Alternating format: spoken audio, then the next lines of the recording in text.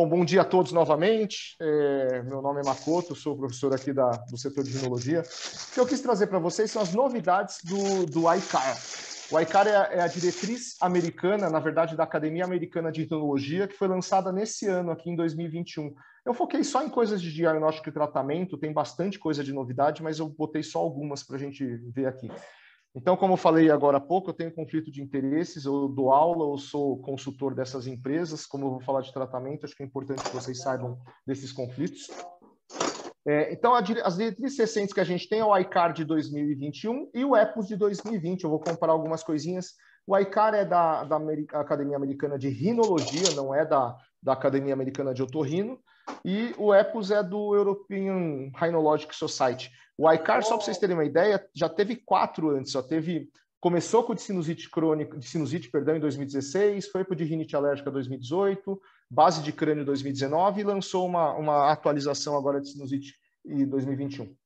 Então, vamos começar pelos critérios diagnósticos.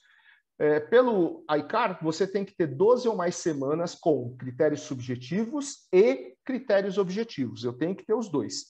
Tem que ter sintoma e confirmação objetiva.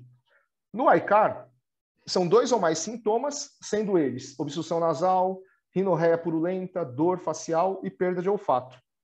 E os critérios objetivos são endoscopia ou toma alterada. Então, você pode ter inflamação na endoscopia, que seria pólipo, edema, é, secreção. É o mesmo lá do, do Land, Land Kennedy, né? E, ou tomografia mostrando que tem secreção ou espessamento mucoso ou bloqueio do complexo osteomiatal. Você fala, ah, isso daí não é novidade. Eu concordo, isso não é novidade porque isso daqui já veio desde o iCard de 2016. Mas é legal colocar uma coisa que eu nunca vejo as pessoas falando em aula, que ela é diferente do EPOS, tá? Por que, que ela é diferente do EPOS? Por dois motivos. E todo mundo fala do EPOS, né? O Brasil copia tudo do EPOS, apesar de eu, particularmente, preferir muito mais a diretriz americana. Eu acho que o que a gente faz no dia a dia do consultório é exatamente o que a diretriz americana fala, e não o que o EPOS fala. Então, qual que é a diferença dos dois? Primeiro que o americano deixa bem claro que o critério diagnóstico é rinorreia purulenta. O EPOS, ele fala em discolored é, secretion lá, né? então é rinorreia descolorida, vai numa tradução bem literal, rinorreia clara. Então, é, qualquer secreção do nariz ele considera para sinusite crônica, ou aguda e crônica, enquanto que o americano fala em purulenta. E outra coisa é que o EPOS fala que tem que ter obstrução ou rinorreia para sinusite crônica. O americano, não, ele fala que tem que ter dois desses sintomas, não precisa ter necessariamente um dos dois. Até porque você vai ter o sintoma para desconfiar e aí você vai fazer endoscopia ou a tomografia. Essa é a ideia do americano. O americano ele quer confirmar antes de tratar, enquanto que o europeu não. O europeu pensa numa uma coisa mais sus, assim, vamos dizer. É, então, é, por que, que ele fala isso? Porque o sintoma isoladamente ele tem uma alta sensibilidade. A gente vai pegar todas as sinusites com esses sintomas, mas é, todas não, né? Mas muitas sinusites. Mas ele tem baixa especificidade, ou seja, essa, esse conjunto de sintomas pode dar na rinite, é, pode dar no COVID, vai, pode dar num tumor, pode dar em desvio de septo, pode dar um monte de coisa diferente. Por isso que tem que associar os critérios objetivos. Tá? E o americano, como é tem muito mais medo de processo, ele não quer começar um tratamento sem ter certeza que é uma sinusite crônica mesmo. Você vai dar corticoide oral, vai dar corticoide tópico três meses, às vezes vai dar macrolídeo três meses. Aí, se você não tem a confirmação, você pode estar fazendo um tratamento errado. Isso tem evidência por eles, ó, sintomas mais sinais para diagnosticar sinusite crônica. Recomendação. Somente sintomas. Recomendação contra. Endoscopia para diagnosticar sinusite crônica, tomo para diagnosticar sinusite crônica, recomendação. E aí ele faz uma discussão se a tomo não vale mais a pena em relação à endoscopia, ele coloca como opção. Por quê? Porque a tomo é melhor do que a endoscopia mesmo. É que a gente, obviamente, nós como otorrinos, a gente vai fazer uma endoscopia nasal, mas a tomografia é melhor do que a endoscopia para fechar um diagnóstico. A endoscopia nasal você não vai ver dentro dos seios num paciente que não foi operado. E isso que tem a diferença grande de um para o outro, que é uma diferença filosófica, para o americano. Tomografia é mais sensível que a endoscopia, então ele acha que tem que realizar tomo precoce. Então chegou o paciente para mim no consultório, ah, estou com o nariz entupido, catarro, dor de cabeça, alteração de olfato há três meses. Ele vai fazer endoscopia nasal e vai fazer a tomografia. Ele acha que tem que confirmar esse diagnóstico. Enquanto que para o europeu, ele fala que não é claro se vale a pena já pedir tomo na avaliação inicial do otorrino. Ele acha que se você tiver, é, nessa história que eu mostrei, tem lá um quadro clínico compatível, exame físico compatível, poderia fazer um tratamento inicial e só na falha do tratamento, ou se eu fosse operar, eu pediria a tomografia.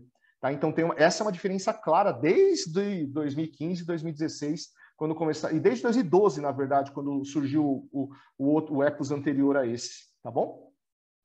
É, falando dos fenótipos, o americano ainda usa os fenótipos tradicionais, crônica sem pólipos, crônica com pólipos, e deixa lá as opções de fúngica alérgica, a DREA e a fibrose cística, por exemplo, tem mais outros. Isso vai em choque com os fenótipos novos do EPOS, que é a doença tópica do compartimento central, a crônica eosinofílica e a crônica não eosinofílica. Isso para vocês aprenderem mais, como eu falei, eu não ia focar muito na aula porque é muita coisa, mas a gente tem um vídeo feito pela Érica, pela Gabi, pela Germana, no, na, no site da Academia Brasileira de Rinologia, que é esse link aqui. É, ou, se quiser, no site do RNPM também tem. Aqui no nosso, a gente só colocou o slide maior para vocês poderem assistir como aula mesmo. E aí é a discussão desse artigo do Harvey aí, fazendo os fenótipos clinicamente relevantes para até para quem não está tão habituado, a gente falou muito ano passado em aula de rino, né? Mas para quem não assistiu muita aula de rino, isso é uma maneira boa para vocês entenderem esses fenótipos novos. É, por que, que eles fizeram com os antigos ainda? Porque não tem evidência mesmo, tanta evidência com os novos. E a maioria dos estudos que eles levantam para fazer o grau de evidência eles classificam em crônica sem pólipos e crônica com pólipos. Então, para eles não é lógico ainda usar os fenótipos novos, mas provavelmente no ICAR 2028 eles vão usar os, os, os fenótipos novos. Então, para o americano, não tem recomendação ainda para o uso da endotipagem nova, porque não tem evidência suficiente. Como a gente faz na Rino? Exame de isso aqui foi orientado pela professora Vilma. Então, o que, que ela sugeriu? A gente usar eosinofilia, eosinofilia, eosinofilia sérica, desculpem, maior do que 300, IgE total maior do que 100, fazer algum prick test, se possível, usando essas, é, esses alérgenos que são muito frequentes na população brasileira e o anátomo patológico lá que tem que ter a eosinofilia tecidual maior do que 10 eosinófilos por campo de alta magnificação ou grande aumento. É, isso, o mais difícil foi a parte da patologia, mas a gente conseguiu na escola, é, isso graças aí a Gabi e o, e o Fabiano, que, que comprou essa ideia, a gente explicou, né, que é para direcionar. Então, ó, na escola já faz desse jeito. Nos, é, nos laboratórios privados, eu ainda não consegui, na enorme maioria que eu pedi, eu só consegui no Ferdinando Costa. Então, os meus que eu mando para o Ferdinando, eles fazem essa classificação. Eu não sei se ele, o Ferdinando é bom para tumor, essas coisas, eu não entendo, mas para a nossa parte de anatomia patológica de inflamação, eles estão fazendo do mesmo padrão desse daqui, que é do padrão desse artigo aqui do Harvard. Então vamos falar do tratamento agora. Vou falar as coisas positivas. É, pelo americano, para 100 pólipos, a solução salina é recomendada, só gotas que não tem recomendação. É, corticoide tópico irrigação é recomendado no pós, mas pode ser uma opção no não operado. Isso daqui eu concordo, isso que o professor Márcio falou, é melhor operar esse cara do que ficar fazendo muita irrigação. Só que num contexto de fila de espera, como é o caso da escola, aí a gente às vezes vale, acha que vale a pena sim fazer essa irrigação. Tá? E o corticoide oral é uma opção para os sem pólipos. De antibióticos, sem recomendação para a enorme maioria, inclusive para exacerbação.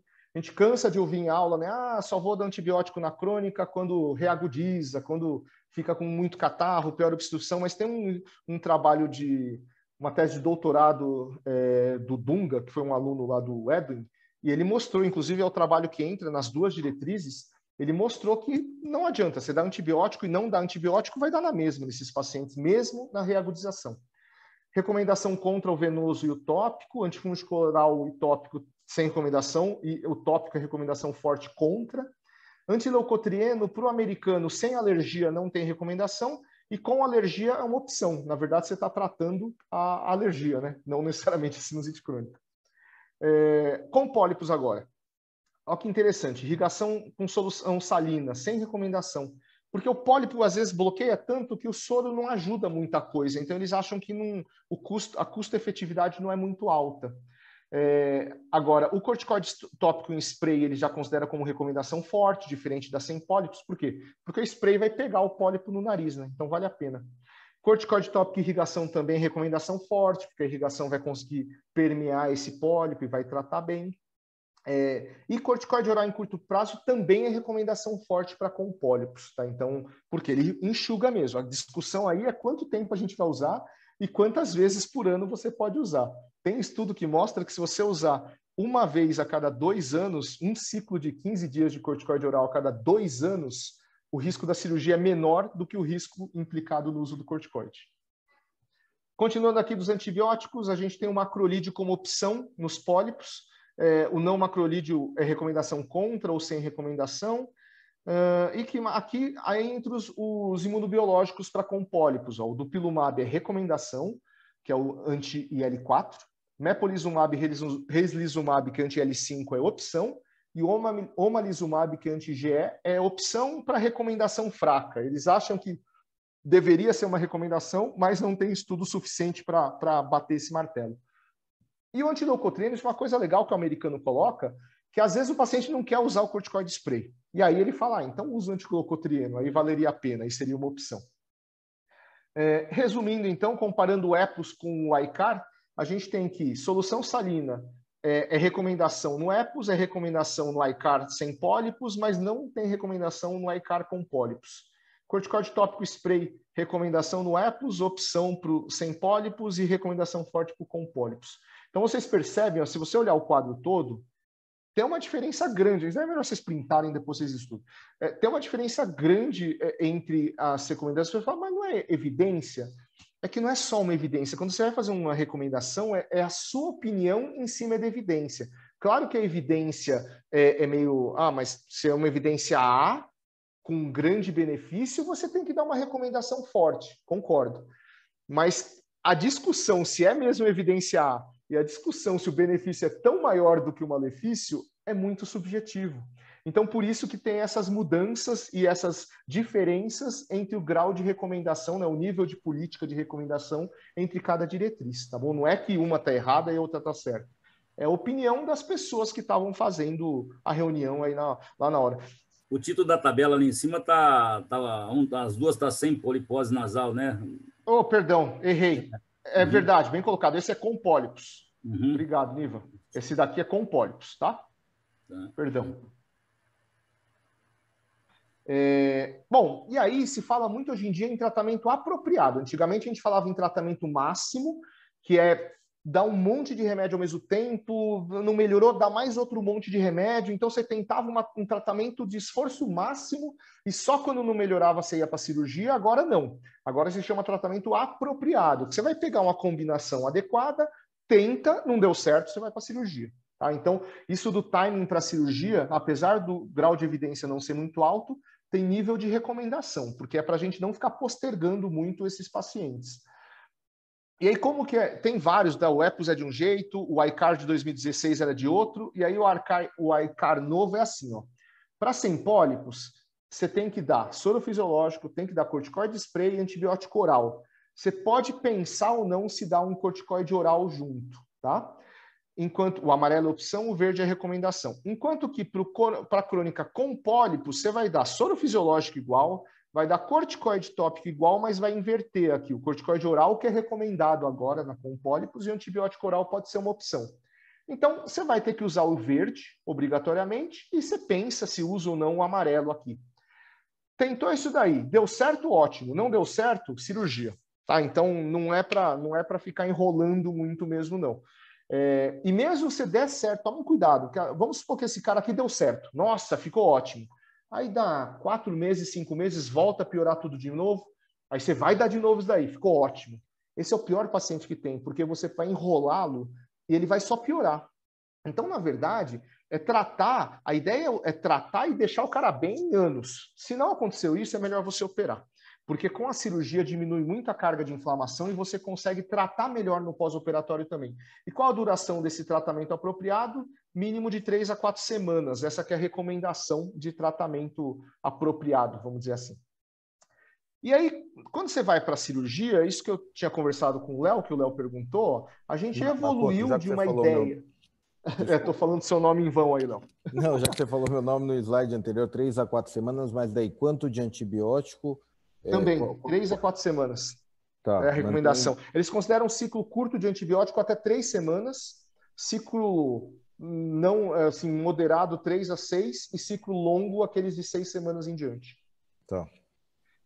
É, vou, já que você tocou nesse assunto, Léo, eu não faço isso, tá? Eu não deixo antibiótico três semanas.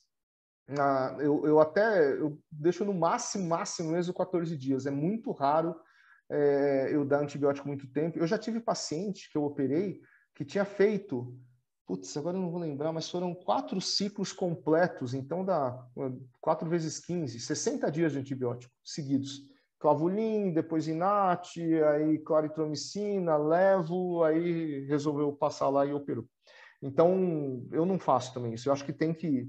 É, se ele nunca foi operado, a cirurgia vai dar um benefício muito grande para ele, viu, Léo? Tem que pensar nisso. É, então, a gente evoluiu de uma ideia de drenagem e ventilação dos seios, que era abrir aquele ósseo de 4 milímetros só para ventilar, para diminuição da inflamação com acesso da terapia tópica. Então, é essa cirurgia que eu mostrei para vocês. Em teoria, é aquilo que o Léo falou, eu poderia fazer essa cirurgia de mínima, vamos dizer assim, é, nos, na, de espaços transicionais, naquele problema que é só de espaço transicional, que seria a doença tópica do compartimento central, e aí reservaria é, uma cirurgia mais ampla para aqueles pacientes que eu vou ter que fazer terapia tópica. Mas, é, na prática, o que a gente vai ter que pensar é nisso. Ó, a cirurgia limitada realmente tem menos cisco, mas tem mais recidiva e a irrigação continua não entrando do mesmo jeito. Aí a gente fica falando de fazer cirurgia para poder fazer a irrigação do corticoide, só que aí você fez uma cirurgia que o corticoide não entra. Será que vale a pena? Eu, particularmente, acho que não. Acho que é melhor fazer uma cirurgia estendida para todo mundo. Claro, você não precisa fazer que nem a do vídeo, deixar a base de crânio toda lisa, mas só de você abrir mais o ósseo do maxilar, abrir bem o senoidal, deixar o frontal aberto mais adequadamente, aquela irrigação que você vai fazer no pós-operatório vai entrar nos seios, então ele vai ter um, uma eficácia melhor. Mesmo assim, ó, o grau de recomendação aqui, o nível de política, é como opção, não é uma recomendação porque realmente não tem, em cirurgia, né, não tem nunca evidência que embase totalmente para um lado para o outro. Ó, aqui só para, não vou citar cada uma delas, mas é só para mostrar isso que eu acabei de falar, ó, que coisa em cirurgia é muito complicado de ter uma evidência forte, sabe? Porque é difícil de fazer estudo em cirurgia. A única que tem recomendação mesmo é de fazer a septoplastia junto da sinusé, claro, principalmente quando tem desvio de septo, né? Você não vai fazer uma septoplastia se o septo está totalmente reto mas como a maioria tem, às vezes, a gente na Rino acha que vale a pena assim, fazer o septo concomitante, porque você facilita tanto intra como pós-operatório.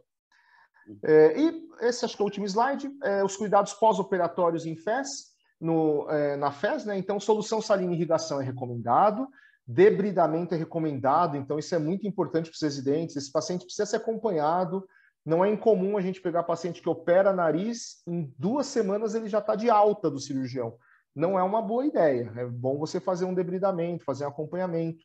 Corticoide tópico no pós, recomendação forte.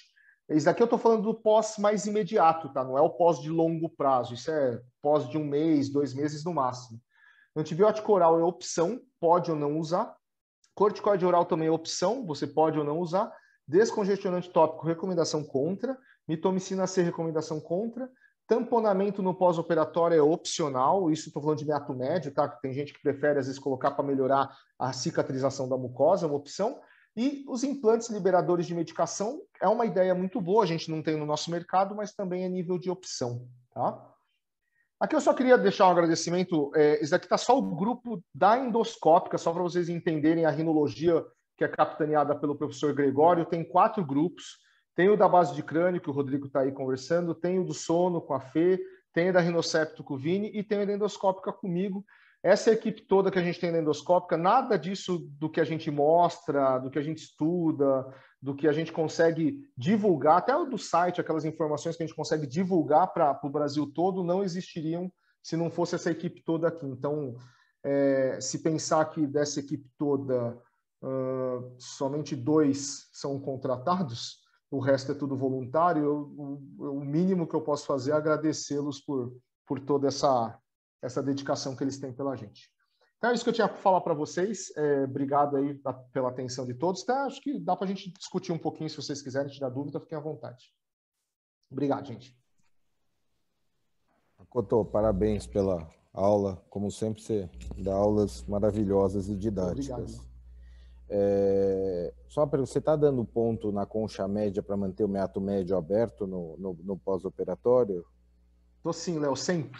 Depois do estudo que o Guilherme fez lá no, no Edmundo, com, orientado pelo Balsa, é, que mostrou que a, a penetração da irrigação com seringa fica parecida com a irrigação da garrafinha quando a concha média está suturada, depois dessa informação eu tenho dado ponto em todas as sinusectomias, todas, 100%. Acho que eu acabei de ver uma, uma pergunta no chat aqui, né? Da Débora Garcês. É, gostaria de tirar uma dúvida. Na sua prática, quando você solicita tomo, segue a do Epos? Não, então, eu sigo a do americano. É, tomo para. Aí é uma boa discussão. Eu sigo a do americano, faço a tomo já para fechar diagnóstico, e aí eu faço o tratamento. Claro que no consultório, é o que eu falei, a prática do consultório é essa: você atende o paciente com, com sintoma de sinusite crônica, faz endoscopia e pede a tomo, que daí você já fecha o seu diagnóstico. É que o europeu fala para não fazer isso, mas eu sigo o americano, tá? Então, é, essa que é a grande diferença aí que, de conduta mesmo. Tá errado se você não pedir? Não tá é, mas eu prefiro seguir o americano. O americano fala uma outra coisa, gente, que é legal. Vamos supor que você atender um paciente hoje, que ele está com... Essa paciente aí, por exemplo, ela tem sintoma de sinusite, eu nem coloquei na história, esqueci. Ela tem sintoma há 10 anos, e essa tomo que ela me trouxe era de meio ano atrás. Será que a tomo poderia estar pior no dia da cirurgia? Poderia. Mas o que, que vai mudar na minha conduta isso? Porque a tomo para o pré-operatório, a tomo serve para duas coisas: para fechar o diagnóstico de sinusite crônica e para usar a parte óssea para ver os limites na, cirurgia. A parte óssea não vai mudar, provavelmente, por causa da, da, do aumento da sinusite crônica. Então, você não precisa fazer uma nova tomo para ir para a cirurgia nesses casos inflamatórios, tá? Que está evoluindo tudo bem. Porque senão, o que a gente vê muito de rotina também é o paciente fazer uma radioterapia, né? De tanta tomografia que, que ele faz até ir para uma cirurgia. Tomem cuidado com isso. Tem mais outra pergunta aqui. Deixa eu ver. Aqui. Há espaço para antihistamínico tópico? Tópico, Lucas, eu acho que não tem. Não me lembro de ter lido a respeito de tópico nessa diretriz americana. É, em princípio, a indicação de antihistamínico na sinusite crônica é para rinite. Então, se o cara tem sinusite crônica com rinite, você dá um antihistamínico para melhorar a rinite dele. Só isso. É, esses antistamínicos tópicos, eles, é, só para vocês entenderem, é, eles têm uma potência semelhante ao antistamínico oral, só que ele tem muito mais efeito colateral. Então, não é incomum o cara, da, o cara que usa azelastina ou lopatadina, ele tem sono, enquanto que quando usa um antistamínico oral de segunda geração, ele não tem sono. Então, tem que tomar cuidado com isso. E o segundo ponto é que é amargo pra caramba, né? Não sei se alguém já usou antistamínico tópico, cara, é amargo a ponto de deixar comida com gosto estranho. Então tem que pensar nisso também quando você vai prescrever. Makoto, no pré-operatório, né, você está comentando que muitas vezes você vê a clínica e você pede a tomografia para você fechar um diagnóstico, né? Entender melhor essa sinusite. Isso. E no pós-operatório dos pacientes, eu vejo que a gente segue muito com a clínica que ficou, o que, que ficou Perfeito. de queixa do paciente. E eu já vi alguns sinologistas, alguns professores dizerem que deveria ter um espaço para uma tomografia pós-operatória para você ver se a sua cirurgia realmente limpou aquele seio, se realmente nenhuma imagem ficou. E não é uma coisa da nossa rotina. É, você acha que tem espaço? É claro, se o paciente não está indo bem e continua com queixo, todo mundo vai fazer tomografia, não é isso que eu estou dizendo. Entendi. Eu digo assim, a clínica do paciente até melhorou e tudo. Você acha que em alguns casos, quando você faz esse draft 3, você faz esse full house que eles falam, você pediria uma tomografia para ver o quão efetivo foi a sua cirurgia objetivamente e não só com sintomas que às vezes são muito subjetivos? Ótima pergunta, Guga. O que tem que fazer endoscopia nasal? Tem que fazer a nasofibra, passar ótica, é, e, porque o, o, o que nossos estudos têm mostrado na escola é que a endoscopia nasal piora antes dos sintomas. Então o cara tá bem, aquela, aquela história de paciente de sinusite crônica, você não pode falar, ah, volta se piorar. Não, você tem que fazer um acompanhamento mais contínuo. Depois de, sei lá, depois de meio ano, você fala, ó, cada meio ano você dá um pulo aí no consultório para a gente passar a ótica. Porque nesse trabalho da Juju mesmo, ele, os pacientes acabam piorando a endoscopia e o, o às vezes está bom. A parte de queixa está tudo tranquilo. Tá? Então, o papel é da endoscopia. E aí, o fato de fazer uma cirurgia full house, você consegue ver os seios com a endoscopia, né? Diferente da, das cirurgias mais restritas, como balão, por exemplo. O americano tem falado muito de balão para consultório. E, Makoto, acho que vale a pena falar, né? A endoscopia dá muito mais uh, dados, né? Você vê a mucosa, vê se tem secreção, e a toma você vê cinza, preto e branco, né? E fica tentando adivinhar o que está acontecendo. Aí você põe endoscópio e tá boa a endoscopia, ou, ou vice-versa. Exato, é tipo fazer tomografia do estômago ou endoscopia do estômago, né? Faz sentido. Bem, bem colocado. Essa, essa analogia é boa. Você olha lá dentro. Você falou, você abriu os seios, você olha lá dentro. Você não está conseguindo olhar com o endoscópio, tem algum problema que nem é átomo que vai... Você já sabe que tem um problema pela endoscopia. Pois é. Concordo. Mais alguma consideração? Alguém quer falar alguma coisa para a gente finalizar? Bom. Só parabéns para você, Macotinho. Vai oh, obrigado, legal. Reunião nível Macoto. Parabéns. Obrigado. Parabéns, parabéns, parabéns pela aula. Tive distanciar um pouquinho aqui, que tem a reunião de campus também estava assistindo aqui, tinha que fazer uma votação. a conexão dupla aqui, Mas foi muito boa, parabéns, muito legal a aula. Né? É um assunto já antigo com uma, né, uma visão bastante atualizada. Né? Acho que todo mundo aproveitou essa aula hoje. Muito bacana, Valeu. parabéns. Obrigado, professor. Valeu, então, gente. Vamos... Parabéns pela condução do setor de rinologia, né? Ah, imagina, isso aí é, é aquilo que eu mostrei lá. Se não tivesse todo esse bando de gente trabalhando, não tem como. Sozinho a gente não consegue fazer nada. Abraço. Obrigado, então, gente. Boa semana aí para todo mundo. Tchau, tchau. Boa semana, pessoal.